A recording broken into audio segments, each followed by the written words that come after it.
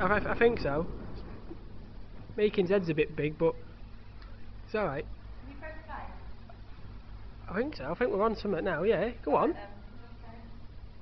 Just don't do it too quickly though, otherwise you're not going to miss it, aren't you? Why we're not right? Yeah, that bit didn't look too good. I've got to be honest with you. Well, I'm still going now. You can just fast forward it. Can't believe you're doing it in pink socks.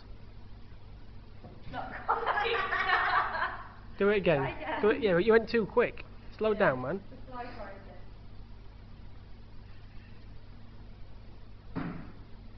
Oh, that was a good one. Let's get. There you go. Thank you.